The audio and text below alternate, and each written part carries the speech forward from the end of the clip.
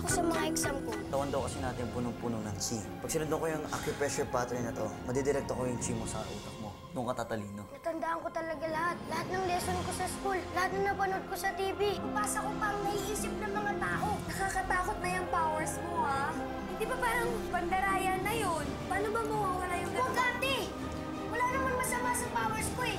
Once upon a summer. Oh, my genius!